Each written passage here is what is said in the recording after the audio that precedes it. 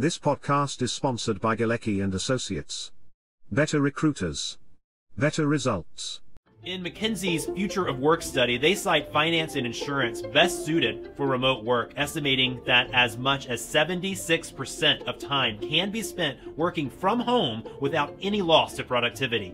That's only one day in the office a week. So companies should be thinking about how to create a long-term experience that incorporates work from home flexibility access to tools employees need at home, and this is important, build camaraderie in a digital or hybrid environment so that people feel they can advance in the company and stay long term. All this seems to align with what we are hearing from candidates. They want the flexibility and benefits as well as the ability to progress in their careers without the commute. And now that talent has had a taste of freedom, their expectations for what they deserve and demand has changed. We're at an inflection point. The time is now to transform your culture into one that can support remote workers, or you will lose the war on talent. And hello, everyone. This is episode one of the Yellow Book Road podcast. I'm going to try to do something a little bit different here where um, it'll be part interview format, part webinar, but the basic idea is how can we get best practices in other industries, technology, finance, I don't care if it's construction. Is there something that's being done correctly that we in this space should be taking note of? And then how do we implement it? And so it is uh, a pleasure to be talking to these two individuals because, in uh, different ways, they've been very influential in how I've thought about insurance. Uh, Steve Lekas, who's the CEO, and Joe Emison, who's the CTO of Branch Insurance, are joining me for episode one. And uh, guys, I'm thrilled. I'm honored. Welcome. Well, Nick, I think uh, we're excited to be your first guests. Uh, you know, love uh, uh, love the name, the Yellow Book Road. Uh, I think when you grow up reading yellow books, uh, that I couldn't help smile when I heard you say it. So we're really excited to be here. And, and the Yellow Book Road is a wink and a nod.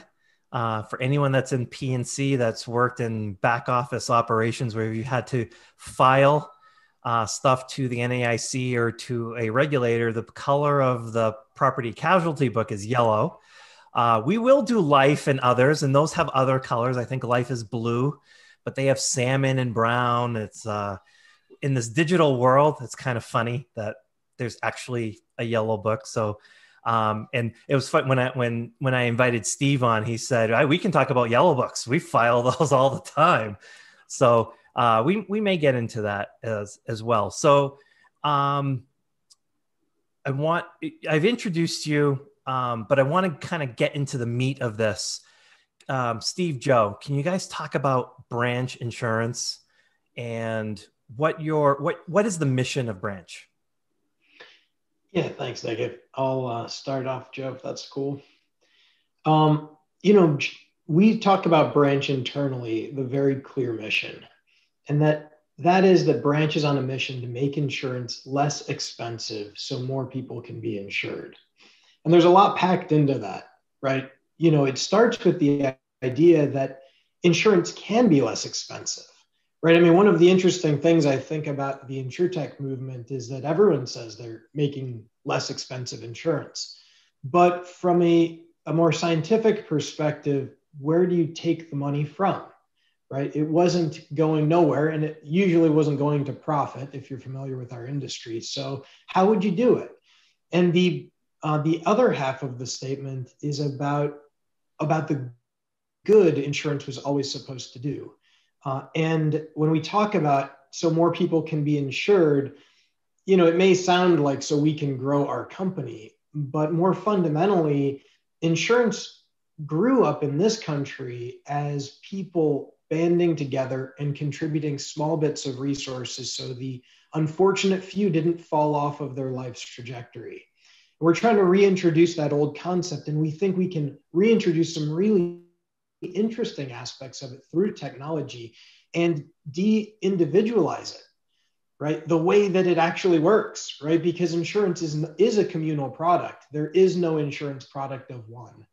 Uh, that would be an in bank account, and a bank account doesn't always indemnify. And so that's uh, that's how we think uh, at a very broad level of what Branch's mission is. Yeah, and I think I'm just going to add on to that a little bit, we saw an enormous we saw enormous holes in what was available. I mean, insurance as an industry, even through the first round of insurtechs, really hasn't made a, meaningful changes uh, in terms of cost structure, as Steve is talking about, but also experience. I mean, you know, the the ideal experience and and and for the core of the market, the people who own homes and own cars. Yeah. So, uh, Joe, what? So, uh, given what Steve just said, right?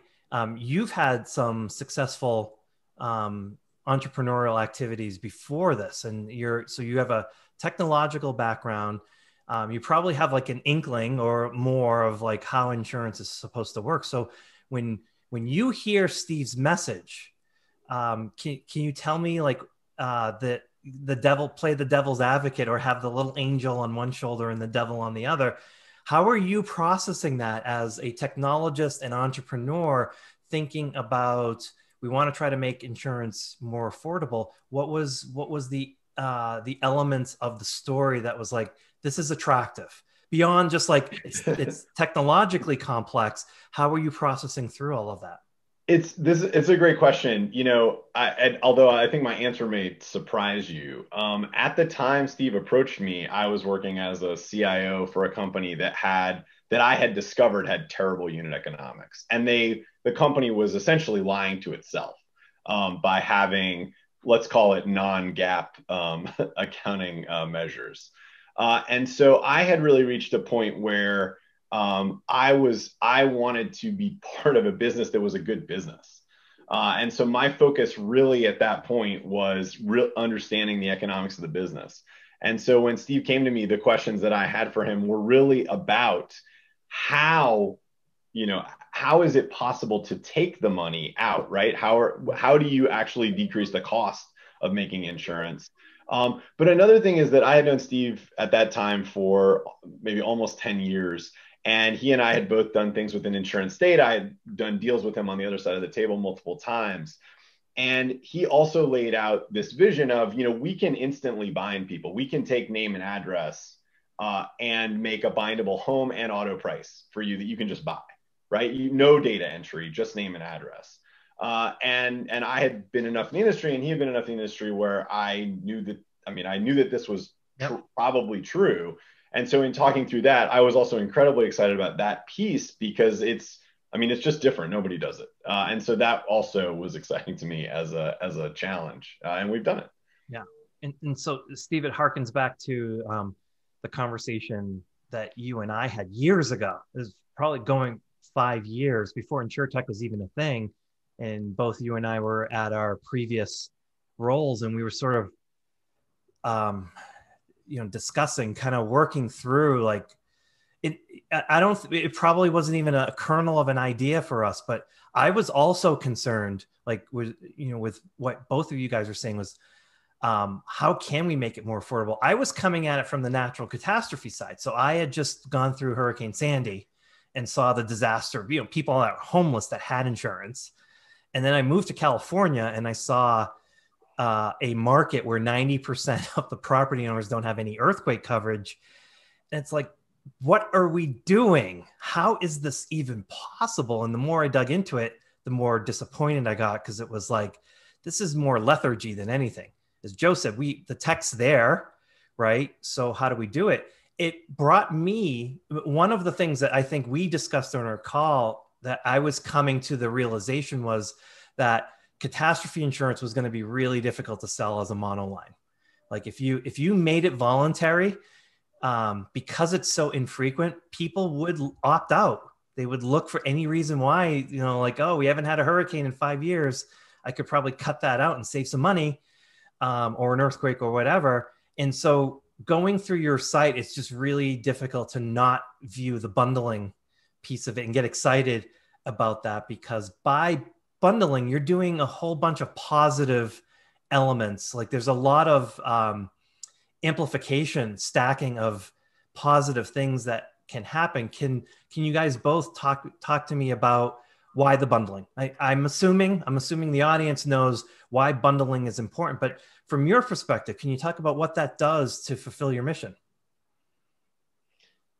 Joe's on mute, so I think I'll go first. Uh, but um, you know, Nick, you're you're right. I mean, there's so many virtues to bundling, especially in our market, right? I, I grew up in in this space, uh, and so the underwriter's perspective is that auto insurance is two thirds liability premiums and very consistent in volatility, mm-hmm. and homeowners insurance insurance is 97% property premiums and can be quite volatile and, and, priced on much longer a term. And so you get a natural diversification benefit, yep. right back to the reinsurance problem or the surplus problem of underwriting two lines at once. The consumer's perspective is that um, I should save and have convenience by centralizing spend. And that doesn't, it's not unique to insurance but in insurance, it's very obvious, right? Because we have a stack of capital, losses, loss adjustment, profit, general expense, and acquisition. And that's how you make a premium, right? And so when you put what was a $1,000 homeowner policy and a $1,500 auto policy together, there are natural um, economies of scale in how we underwrite. And that's passed back as savings to the consumer. This is such an unknown thing uh, that you can't do that same thing if you don't underwrite both products, right? You won't get those economies of scale. And so you're always trying to create a perception of bundling benefit that you didn't actually have. But the third reason is nobody does it. It's just us. I mean, imagine this. For, for 60 years, we've been advertising bundle and save insurance to consumers, and they can finish that sentence. Um, but um, we're the only digital offerer of home and auto insurance. And in that constrained market, there was additional opportunity. But back to the benefits of bundling, it's the biggest part of the market, like by a lot. It's also the highest lifetime value part of the market. And lifetime becomes so critical. I, I, you know, you, you guys write about this uh, in your uh, uh, in Coverager and, and on other podcasts I've heard you talk about.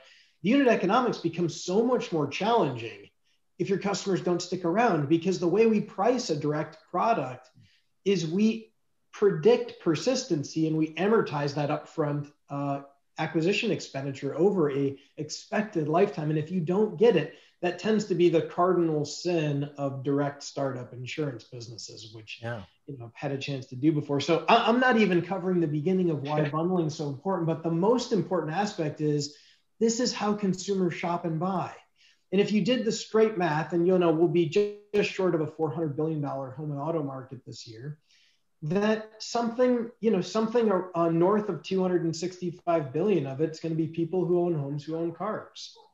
And so why would you not do this? I'll tell you that you didn't ask me this. I'll ask my own question. Do you do that on a podcast? But please run the show. Go. yes. Nick, the only reason you wouldn't start by bundling because it's what consumers need is that you simply didn't know that that's what consumers needed. Yeah.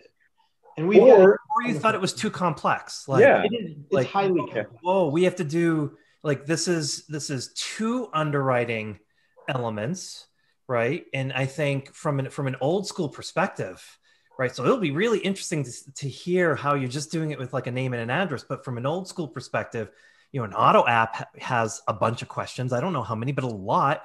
Homeowners app has even more oh, we're going to combine those two, no one will stick around long enough to buy it. Yeah. Complex. Which I was waiting for Joe to jump back in on his instant point. So, you know, Nick, I, you knew that uh, I created the first online home insurance business in the nation yep. for another company years ago. And it was a great business. Uh, ran its target loss ratio very effectively under it and grew to 100 million in five years just in the inland markets. Uh, didn't have a price differential to the rest of the marketplace and uh, it was 83 questions to buy digitally. But you could buy digitally, right? That was the innovation. It's still 83 questions. Can yeah. you imagine? And so, like, add, you know, and that's like half of the industry in homeowners. And so, if you put that together with auto, yeah, if you created a thing no one did because it was equally challenging, right? You need an agent today uh, in order to purchase uh, the bundle and save. But there isn't a business that has a direct like model, right? That is, uh, you know, a lower cost of creation for not having as high an acquisition load baked in. And we were the first to do that. We're, I mean, we're so excited about. It. Plus, it's extensible, right? You know, you have the ability to add more products if you have a discipline in bundling. And the old school product penetration economics are, you know, two, two insights I'll, I'll say. One is when you add more products to the same account, the lifetime increases. But if you entangle those products, if those products are entangled, so if I sold you a, a, peanut butter and jelly sandwich and an auto insurance policy, my guess is that it doesn't meaningfully increase lifetime. But when we sell you a home insurance product that decreases the price for your auto, that then if you drop the home, it increases the price for the auto and vice versa. This entangling effect is a real impact uh, to persistency yeah. and so important to the economics so that you can give less expensive insurance to consumers. There's, there's another thing I think that is important to think about this, which is that if you start monoline and then you want to add the bundle, you run these, I mean, for all time, you run these as separate businesses with separate P&Ls. That's what everyone else who who underwrites both does. And what that does is that eliminates a lot of the economy of scale benefit you have, right? So there is like an organizational aspect to the way we have started, which is that there isn't home and auto as separate things. You can imagine you if you have a home business that's growing rapidly and you add auto on, you're going to put that under different people. You're going to put out different targets on it. We haven't done that. Our bread and butter is centralized, and so that means you don't get these. Like we don't care if you're coming in for the auto and we sell you the home, or you're coming in for the home and we sell you the auto. It's the same pot. It's the same uh, you know amount, and that is that allows us to go after one policy and sell two and not have weird transfer pricing between departments which doesn't work and which you know gets these fiefdoms yeah. and ultimately drives your price up. I i love that you brought that up. Um, i wasn't planning on going uh, or you know talking about that specifically because i didn't know how how deep like this is this is really insurance nerdy stuff. So this is like right right in our wheelhouse. I love talking about that because um so this is best practices like from a finance person like people who work at like um, hedge funds or trading firms you know investment banks they know this. Like this is you, you know they're constantly spending time working on the correlations of stuff and their whole goal is to continuously add more positive expected value with low correlation. The more you can put in the more you're dropping the risk of the portfolio while maintaining the stackable elements of the expected value. And Joe, I came across that. I'm coming across that with flood. Now, as I approach carriers, it's um, a, you know, hey, can you know, you know, they can we add your product, your flood product, to our homeowners product, right? And the wall that ends up like that process is easy. Adding it, piece of cake. But then it's well, okay, is it a separate product, separate P&L, oh shoot, the reinsurance. We're gonna have like like everything becomes this Chinese wall to um, quarantine the rest of the book from it. And as I start to think through how how are we going to dovetail this in, I real I recognize, and it was just recently recognized, this is a monumental challenge. Like the the traditional insurers have very little ability to be able to do this. We're going to have to catch them at the right reinsurance renewal. Like, we, we, and we're going to have a checklist of stuff we're going to have to nail down. It could take years for us to overcome that in order to embed, truly embed our product in. Joe, it sounds like what from what you guys did, it's kind of like how a tech person would think about how you need to embed the different pieces of the stack, thinking, how is this going to play out in two years? We want to be ready for that. So we want to make sure we're not disentangling old tech to embed new tech in, the insurance piece sounds like almost the exact same thing. Yeah. Yeah, Nick, yeah. I'll add too, you know, as you cover that story about flood, I'm sure you probably know this, but this is how home insurance started, right? It was five distinct products. Yeah. You had to buy a separate GL, inland marine, uh, what was fire insurance, and all other peril product and stitch them together uh, with the help of an Great agent. And, and, typically typically they were different insurance companies because you know our industry grew up as fire insurance right? The the wind the tornadics policy was its own invention. And so for all the same reasons joe said and that you said like imagine like back at the dawn of these things trying to figure out reinsurance and capacity and application and distribution and so there was this genius moment that's supposedly 1950. It was an insurance company of North America, which I think is now a Chubb owned property. And they put it all together. And it was less than 10 years before it was the dominant product in property insurance because it gave consumers ease. But you also had a 40% expense structure for each of those products that essentially became just one. And so the consumer got price and ease, like simplification that became so powerful. And like, you know, uh, I mean, it's been the dominant product in this space for 60 years, 7 I'm, years. I'm gonna share. I'm gonna share the PDF article. Um, I, and and Steve, I don't know if you've seen this one, but you're clearly hinting at um, some of some of the points from this particular article. It was published in the 50s, and it's an old Casualty Actuarial Society publication I forget the author's name, but I have the PDF of it, and they talked about the um, the launch of the bundled product. And this actuary kind of talked about all of the uh, objections. Nobody asked for this. Everything's working just fine, right? Like it, almost probably all of the same objections you may have heard, but a lot of the objections I heard, you know, when on my end when we talked about in adding more into the bundle it's like well nobody asked for this.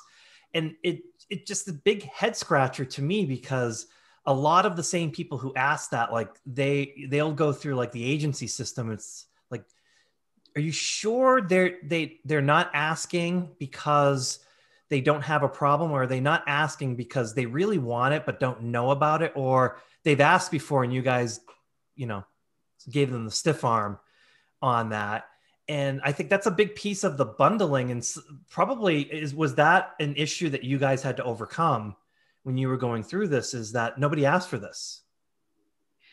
You know i think nick that one's a little lighter for us because our market is known. What we have heard a lot of is why do you guys keep talking about bundling from the uh, you know the uh, uninitiated right? Uh, investment bankers and other startups um, that uh, have tried to bundle after the fact. And it's very difficult to do. You know, I, have had a chance to try this myself, and you're trying it too. You know, and on flood as a point of note, I love flood insurance, right? I, I left California. Uh, I'm sorry. I, uh, I love flood and earthquake insurance, but the big drawback on flood has been for decades that it can only be 250,000 and it doesn't follow the homeowner's form. And so it was already a complex product. Like the bundling need is is so great, right? And in what we do, like we don't offer quotes. We we never quote a person. We've never given a quote. Every price that you see at branch is purchasable when you see it in seconds, digitally or otherwise.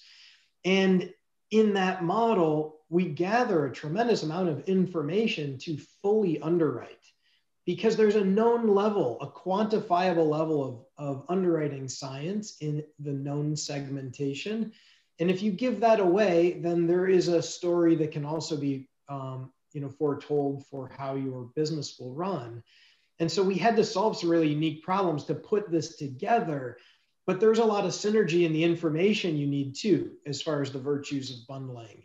And so in putting this all together, we have a lot of data as well that would let us uh, help you underwrite flood, right? If it were embedded in our bundle, right? Because back to the beginning of this, like this has to be about generating new value for consumers, right? And if you want to do it as a startup insurance company, eh, these there's only one definition of a special insurance company, and that is one that's differentiated in its customers' eyes that that deserve it rapid growth and a positive underwriting outcome. And so, like all this has to come together, but the bundle uh, and flood, I think, uh, two pieces that that uh, you know that will be a part of the the future story. I love it. And how flood comes to market. I love it. I can't help uh, Joe the tech piece. So, um, walk us through how you're thinking about uh, you had experience collecting data, so you must have known like, okay, I, I know where I could probably get this. Steve's got that experience as well, but now you're talking um, multiple underwriting systems and there's you know having gone through that that's not necessarily easy. Cloud based um, direct to consumer there's um, so there's customer experience. There's a lot going on there and um, most people would never see how much sausage is being made but there's a lot being made.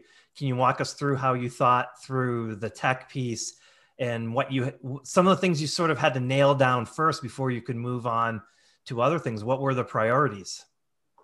Yeah i mean i think it's probably helpful to talk a little about my philosophy um, which is that um, i believe that code is a liability. So like any mm-hmm. like what your asset is the experience you deliver um, it's not the lines of code. And anybody who like is you know giving compensating developers based on the number of lines of code or judging them based on the number of lines of code they're creating that's a terrible idea because that all of that you have to maintain. And and you know we're bad as an industry. Also software development as an industry is very young. We continually realize that things we thought were best practices are terrible. Um, and uh, you know there are all sorts of things that you know good software developers would not go- do anything without today that were like didn't exist or you know no one did 10 years ago. And by the way those people are who were doing it 10 years ago are still doing it today right? And so like there's a tremendous there's a huge gap uh, say in other words between the average software development organization and the say top 10% like it like the the ability to develop and deliver is just massive between those two and i think a big part of being able to be very effective at software development is one not developing software when you don't have to and so, uh, you know, I have a very strong buy versus build view on things. And let's say, even if you looked at an, at, like we use Zendesk for customer mm-hmm. support, uh, customer service, and for handling underwriting tasks. Um, and so you could look at it and you could say, well, this, okay, like maybe we could get started with this. Maybe this does, you know, uh, if I look into the future, I can see a world where this won't work. And so there are a lot of organizations that would hit that moment and go, great, we got to build it ourselves. Like yep. that's that's insane like what you should do is you should use Zendesk. You should use it as long as you can because it will be cheaper and you'll be able to start immediately. And you can put all the support on them. So your service team can be completely independent of your software development or, or, or tech teams. They can do everything themselves with that. And then you wait until they can't do something. And guess what? First of all, you can use it a lot longer than you thought you could at the beginning because you build a relationship with the vendor you use their solutions architects and you you go set things up. You do maybe a little custom programming in it but you know it's very simple. And then when you reach the moment where it's not good enough you have the specifications. You know what you need it for and you know what it doesn't do. And then you can build something that actually works for it as opposed to whatever you're going to build in the beginning which is going to be a total miss and you're going to have to keep rebuilding it. You're going to be delayed. You're going to spend all this money on it and you're going to have something that you know probably has a lot of technical debt because where when it gets to functional it's very different from the original vision. Because again people think they're going to be good at designing software. People are terrible at designing software. So i mean that, that sounds that sounds like uh, a lot like lean startup like lean methodology like i mean i think you know the only thing is you can end up spending a lot of money here right? I mean this is one of the challenges is you look at it and you say well gosh we've got all these software developers and they can build stuff and the hosting cost is low and i've got to pay zendesk you know $20000 a year right? I mean you can look at that and say well that's silly. I should build it myself. And i mean the problem is again you have to you have to have the humility to say like i i'm going to be i'm not going to be good at specifying this um, so it, it, with that philosophy, you asked the first question. The first question was, do we buy or build a policy admin system? Um, and so I've spent a lot of time and I've talked to a lot of vendors and, and I, I, still ask this question, by the way. So we built our own policy admin system, knowing that we're this big, you know, buy versus build. We built it. Uh, we built the purchase experience. We built endorsements. Uh, we built like all the reporting uh, functionality to services that help us do reporting. Um, but you know, we we had a great advisor um, uh, initially who who said you should build it yourself, um, and um, and uh, Nandini Eswar, who is at uh, who's who's now CTO of a wonderful startup um, uh, called Speakfully, um, But um, you know what we found was we could use this service called Clarion Door. It's a great service. Everyone should be using Clarion Door. So Clarion Door will handle your rating and your forms for you. So those are things. So we didn't build a rater and we didn't build form generation and we don't deal with the versioning of rates and the and the versioning of forms. Clarion Door handles all of that for us. Uh, so we paid them, but then we get to build the entire experience. And so one of the one of the great questions of I think in building software effectively is to ask what is the right abstraction layer between what you build and what you need. And Clarion Door has the exact I think the exact set right setup, which is they handle these things that are pure back office, they're pure API driven, they're all in the cloud that our customers you know never see and that we don't need to build. There's no need for us to build our own rater if there's a way to set up a rater with the right rates. And and here's the wonderful thing. Our product team, our insurance product team just works directly with them. So there's we don't block. There's no developers at branch blocking putting new rates in. So we we, we you know we make a change, it just gets put in. And it's fantastic. Yeah, but Steve, it sounds like a lot of that is um, partially a lot of that philosophy as well is embedded in all of the insurance, not just like how the the rater or the tech or the customer experience, but the actual insurance element of it sort of it sounds like it runs through very similar um, level uh, the, the same gauntlet of is this adding value or not and how you're making decisions you guys seem it seems very complementary the insurance side and the tech side seems to have dovetailed yeah nick i mean you know, Joe's got a great phrase uh, about not spending energy on undifferentiated heavy lifting. Yep.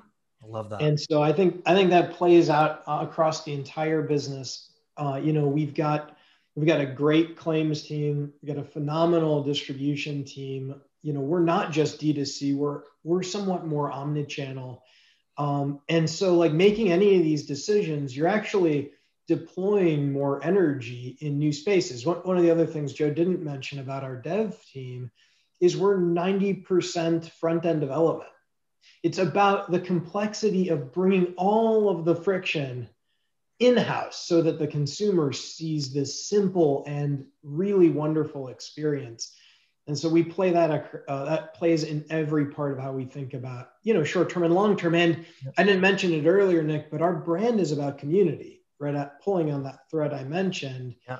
And we think about what does it mean to get our our members' backs because that's how we talk about it inside and out. Um, and we make all the decisions in the company around value creation and staying true to that do good uh, and make it less expensive uh, mantra. That becomes very obvious going through your website. So appreciate that. Our our, uh, our uh, marketing team will really appreciate that. Yeah. So um, a couple of things that stood out um, is the community pledge as well. So um, why don't you walk us through that? Because I, I think the community pledge is actually serving multiple purposes here and ties back very nicely to that. We got your back. Yeah, thanks, Nick. And you know, I'll just start to lamenting a bit that there hasn't been enough product innovation in startup. There have been a lot of great experiences, especially in the, the home and car market. Yep, I've seen uh, it. A lot, lot of energy on new experiences, a lot of energy moving the business direct to consumer. Uh, but the only reason to be a full stack insurance entity is so that you can be inches better in every regard for your customers. This is what it means to be good.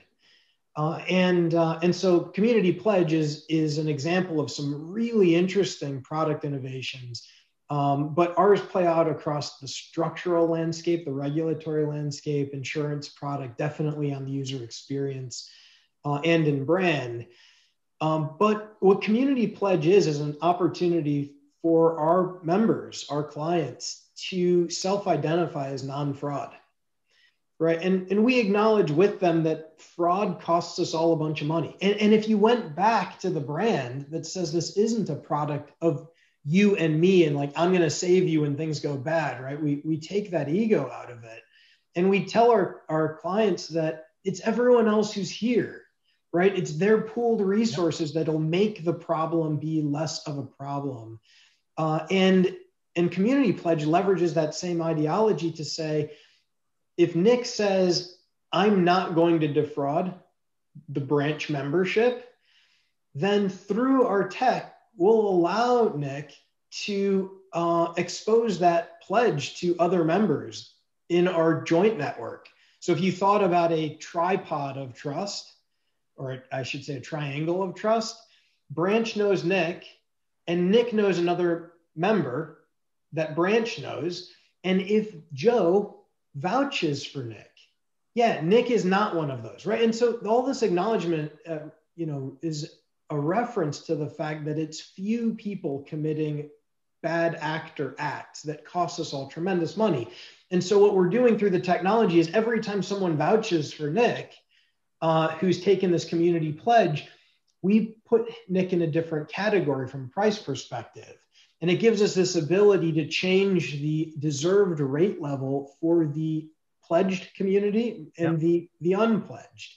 And in doing that, we use technology to sort people, a new risk segmentation simply, right? But what's really neat about this is it's it leverages behavioral psychology. Yep. Right? Because now it's not just you and me. And you were you, and I was some nameless, faceless organization, probably has deep pockets, right? Like we know how that alignment works out. And in Branch's brand, what we're reintroducing is that we're, we're telling you how efficient it is. We're telling you that it's it's built to do good for society. And that in this particular case, Nick, if you lie about the pledge, you know, Joe's identity is also at risk, right? Your interaction with Joe. And so we take those opportunities to, it, like, we're a reciprocal exchange. And, and, you know, the first reciprocal back in 1881, this group of dry goods merchants in New York, they all knew each other. And if you go back 100 years before that, it was farmers, you know, in, in, in uh, county mutuals, they all knew each other. And you knew, Nick, if your barn burned down, that you were going to draw on my resource. You know, these were accessible policies at the time. And we'd kick in for each other in a moment and help rebuild. And like that was, um, that created a lot of mutual accountability and trust because we had to. And so we've lost so much of that in the in the era of big brands where, you know, I want you to know that it's me as this entity, this brand who's saving you and branches you know just thinks about that all in an iconoclastic manner and community pledges both a real innovation that will better sort fraud dollars in an insurance construct but allows us to interact on brand which is reintroducing the idea of community and insurance that can align and better incent the correct outcomes. Cheaper insurance. Where'd the where'd this specific idea come from? It's it has um just listening to it, the, the whole, hey, if you if you commit fraud, people who have vouched for you are going to be weighted less or have there's going to be a negative effect to them. There's a there's a network aspect to that, which I would assume over time makes it anti-fragile, right? It's just going to get stronger and stronger, knowing that um, it'd be difficult to game, uh, right? Um, could you just talk about like how'd you how'd you come up with that? How'd you put that together? Was that was that transported from you know finance or another industry? You know, um, and real quick, one point too, Nick, because the first question I usually get is, well, what's going to stop the fraudsters from taking the pledge? And you know, I started my career in claims, and I tell people like, you you know that the first many months of an SIU investigation is just trying to ID the network, right? Can be many years like I'd love for a small discount for people to start to give us, you know, all of that intel. Like no one's gonna. So you know, there's all kinds of could it go wrong, but the incentives are all stacked up just right. Yeah. Um, but uh, the idea was really uh, a part of the original Genesis. Like, you know, this was part of what Joe and I started with, and this one particularly uh, was one I'd been working through.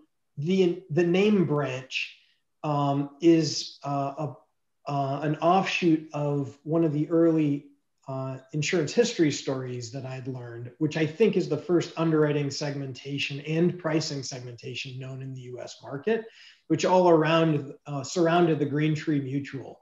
And so that was the, the original nod. Um, but I loved Branch because we were trying to figure out ways to align incentives for the long term, right? All of our early differentiation is in tech and in um, in distribution models uh, that really um, give us the ability to entirely flip how this market works. But on a long term basis, we can also make insurance less expensive if people understood better how it benefited them to act in their own self interest. Uh, and as opaque as it is, like, God, I mean, many of the people that operate in this market don't really understand how it works to uh, externalize it all to a consumer it's hard. And so yeah. i was searching for mechanisms like this one um, where we could create better alignment than we'd had with a real belief that insurance was good. Hadn't always been good to people but its original intent was good. And so in something like this we use technology and real product you know underwriting acumen uh, to bring less expensive in, con- insurance to the consumers that deserve it. It's all, you know, yeah. almost couldn't help coming across this idea as you scoped through those ideas. No, because, you know, some of your competitors have taken different angles to do it. Um, fraud's a problem, right? And so this this one seems like quite unique, interesting. I hadn't heard of something like that. Um, the pledge at first just seems sort of uh, wishy washy but the way you just described it is just very powerful right? Like it's you know you can have hey if i if i make this false claim i'm taking money away from a charity or i'm i'm actually harming my friend right?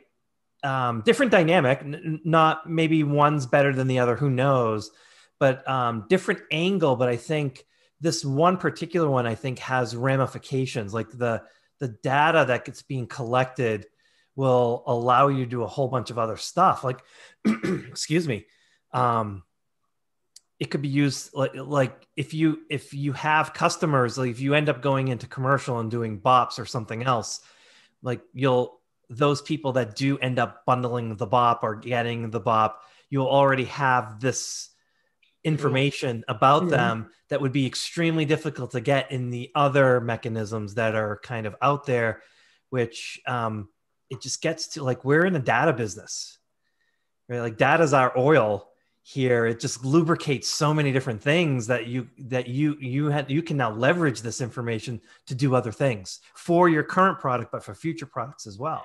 Well and nick you know i um i love the line you said where um what I now do, should I commit fraud, it harms my friends. Because that's actually like a very eloquent way to describe one of the places insurance has gone horribly wrong yeah. uh, over the last, you know, hundred years, especially.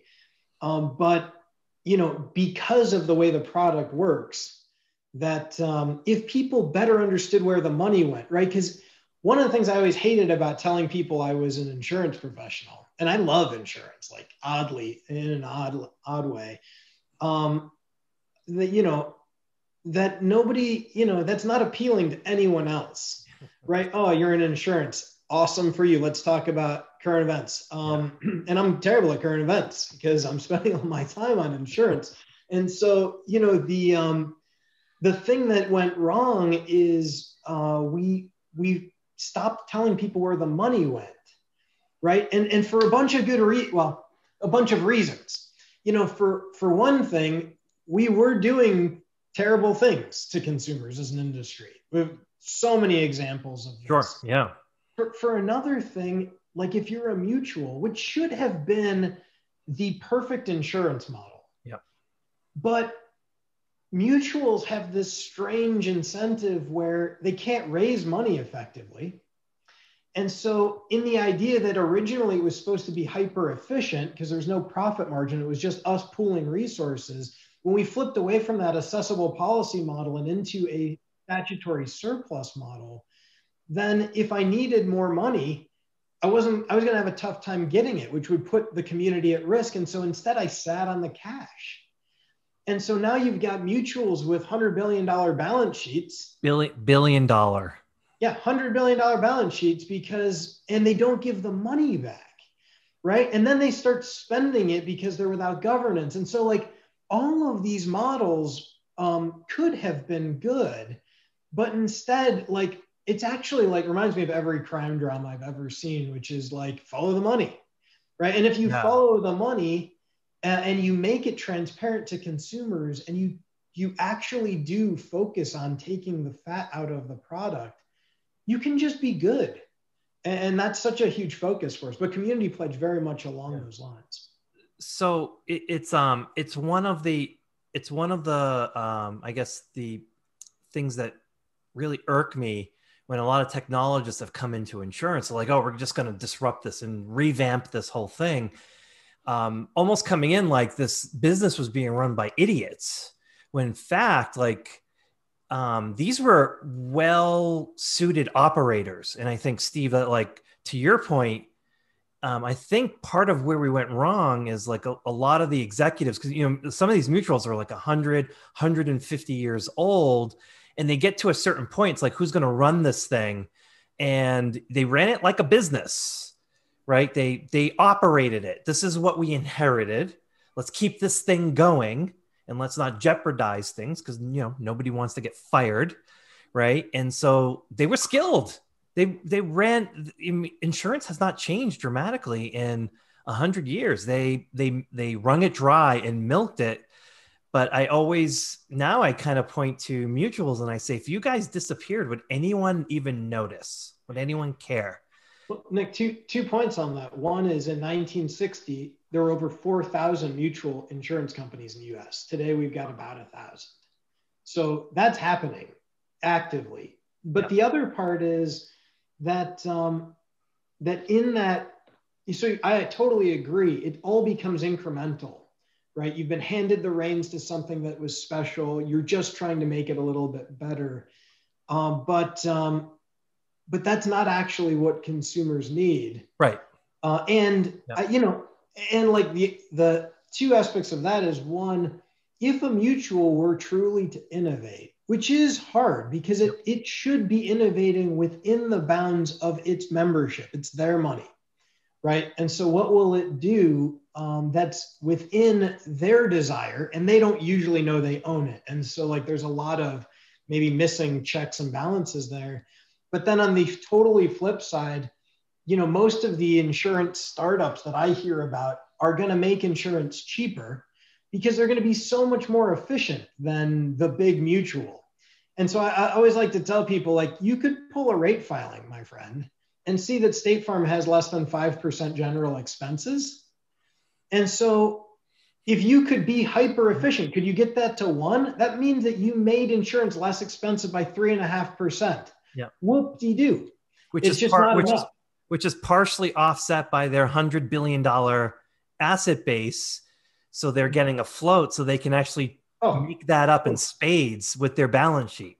Totally. This this is actually a point I frequently make, Nick, which is the biggest penalty you know the barriers to entry in this market are quite high yep. but once you're in the, the big penalty you have is the cost of capital it is your yep. greatest penalty for scale i love that uh, it isn't the expense construct right this is all about we are a business of moving capital and the savviest of us will be very effective on how capital is acquired and moves um, and that's that's where you find real um, the real benefit uh, to how you build the long-term business it's it's yeah. in how you answer that question. Yeah. So I want to respect your time um, on this. You you I think this is a fantastic segue topic. You have uh, you have a, a pretty uh, typical structure today. You see this a lot where um, you have an MGA, you have a carrier that you're underwriting for, but you now you have your own too. You have a reciprocal, um, which uh, we won't we don't need to necessarily get into too many details about that, but it's kind of like a mutual, slightly different organizational structure. So, um, as you're describing that, I'm thinking, well, how how are you going to how are you going to manage that? You're looking into 2021, 2022. You're in several states right now. So how do how does branch manage manages its capital? How are you thinking of pulling all of that together so that you can bring this benefit to other states but also continue to enhance the ones that you've been in. And then Joe, you got to tie all of that stuff together. How are you guys processing this? Yeah, Nick, the short story on capital management rollout and uh, and the exchange, we didn't want to raise uh, regulatory capital through equity, right? It was in vogue when we started Branch, Yep, but Sure we just had a strong aversion, right? A good insurance business creates its own regulatory capital, and so in that sense, you'd sell the company for a rental fee on uh, on money that you acquired. Um, and so, with that as kind of one of our beliefs, uh, we built a business so that 100 years from now, it can do just what you said. It can run a 102 comfortably because the float's four, and, uh, and it makes for very efficient premiums for our customers. Yep.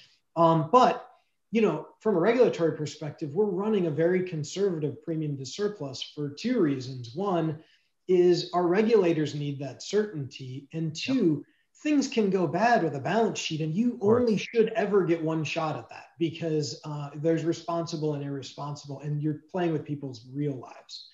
Uh, and so we built the exchange structure, which is pretty esoteric, but it's become much more common lately, uh, where the capital intensity and the risk really lies in our in our member-owned company. It also allows us to dividend excess premiums very efficiently, right? Our desire is not to uh, to juice margin if we overshoot. It's to be excellent underwriters. And the other answer to the regulatory question is we underwrite with excellence when when our statutory numbers come out and, and you can look at us and our front uh, results you know we'll have run our target from the first year in market because we constrained for excellent underwriting with the best available science and we're differentiating on how we use a tech superpower uh, and new distribution models for the benefit of our customers in fulfilling our mission and so that gives the regulators tremendous confidence that they wouldn't or shouldn't have had with other startups that might enter the market at a 150 to 200, right? Loss ratio. Yeah. And so all that's baked into your question. I'll, I'll uh, leave it to Joe to tie it all together. oh, Joe, take us home. I mean, I, you know, I think that um, I don't find the with the tech philosophy that we have, right? Which is that what we want to build is interfaces for our customers and for our agents and for our internal staff, and that we want to go find and how to buy everything else that is undifferentiated heavy lifting that is, you know, similar enough to what other people in other industries even will do, or insurance specific services like Clarion Door. And so, so I, I think that all of the hard tech work is actually done in that systems architecture and research and deep understanding of what's out there. Um, you know, it should be a job for someone in an organization to just know what managed services are out there that can do things for you. How do they differ? How can we use them? Um, I'm, I'm always astounded when I talk to large organizations that have built things and I say, well, why didn't you use this? Why didn't you just buy this thing for a thousand dollars a month instead of spending what must be, you know, $200,000 of developer time in eight months to build it? And they'll say, oh, well, it doesn't do X. I was like, no, it actually does and has for years. Oh, I didn't realize that. I mean, like this is the actual problem I think in most software development organizations is people aren't saying this is undifferentiated, this is differentiated, uh, and so that's what we do. Yeah. Um, both of your answers just remind me of like a conversation I had. You know, I I don't want to pass judgment on what's right and what's what's wrong. It's really just a question of what you're trying to accomplish, right? And I think I think there's there's a, something to be said for getting market share and moving quickly. And a broker who was evaluating um, us was that's not my personal philosophy on that. To me, I wanted to create something of enduring value. So it's like, and the only way I can do that for sure is I have to make sure my capacity partners make money. That's the only way I know for sure. And so I would rather move slowly and make sure that they're profitable than move too quickly and build up a powder keg. Um, but the flip side is that um, some astute people can get market share and they can cross their fingers and try to grow faster than that. Either way, right? But um, there's an element here where it becomes obvious with what you guys are trying to do. It's like if if your mission is the customer in the way that you're talking about backing each other's you know having each other's back I, there's a saying one of your marketing sayings there's some copy in there it says um, correct me if i'm wrong like um, covering your back so we can keep covering your back or something like that which was that that that's back to kind of the old mutual philosophy as you as you both have eloquently stated. And in order to do that you have to endure right? Because the hurricane might take five years. So you know you have to like last to that hurricane. And so there's a there's an element of this particular model that i highly respect because it's um it's thoughtful in that way it's like we're looking out our we obsess over our customers so much so that we, we would be willing to sacrifice market share in order to make sure that they're protected and the people we're partnering with are protected. And I think there's something to be said for that. So I'm going to end it there and just um, salute this. You know, when I when um, I talk about the insurtechs that have come in in this particular space, there is you know Lemonade and Hippo, and I think they each bring something to the table. I always throw Branch in to that conversation because I say they're the only ones that are doing this bundling thing. I don't think a lot of people in the investment world give it as much credit as they need to because I don't I don't think they understand the nuance of it. But I salute you. You're it's a blue ocean strategy that is is right there in your face and everyone's ignoring it. Well, Nick, I'll say um, I think the investors, like many of the startups, just didn't know. Um, but I think they're catching on quickly. And one other point that you made if you go back and look at every brand you know today in our space, they all grew to their size at a positive underwriting profit. Yep. Because differentiation, right? The, the problem to solve for isn't just spend as much money as possible, it is to constrain for finding our product market fit is value differentiated enough to our customers that we'll grow rapidly while we do it as you said the right way and that's so the hard thing to do. have to have done yeah Agree. and and and the thing is we, we're i mean we could talk for like another hour but the differentiation piece of it is something i hammer home all the time because how unless you have a billion dollar budget for advertising how do you get in front of someone and make them interested in what you have if it's just like everybody else's. Now, uh, I think Lemonade has done a marvelous job of being able to do that. I think Hippo has done a marvelous job of being able to do that. And you have a different strategy, and differentiation has to play a role. For for anyone that's listening to this, like that's stuck in the, you know, a, a mutual business model or a farm bureau business model. It's that's the one th- that's the, like almost the first thing i always say is how are you differentiated? If you disappeared would anyone care? It's the first thing you have to tackle. And the bundling aspect along with all of these other pieces just you're sort of ratcheting up that differentiation yeah nick and i, I know we're uh, getting ready to close but we didn't actually punchline it. The the differentiation of instantly providing prices by itself is really unique and will make for a really important change in the marketplace. You know the only ability to bundle in a in a geico like or progressive direct like expense structure that's also very different we built the first online umbrella policy the us ever seen that's very different because our bundling market needs it but if, if you put these things together and said how will branch make insurance significantly less expensive what we do with that superpower is we use it to bring insurance to moments of relevance mm-hmm. where insurance becomes a future infrastructure, invisible to people.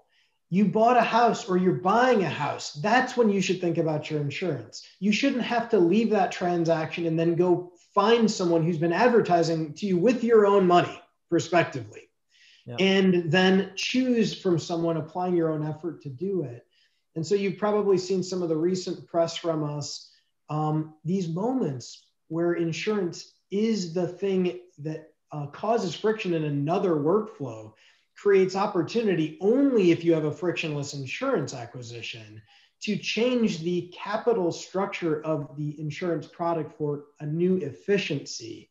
And that's, you know, we are differentiated in so many ways, but that's what will change the market to very fundamentally over time because of a capability that is built for endurance.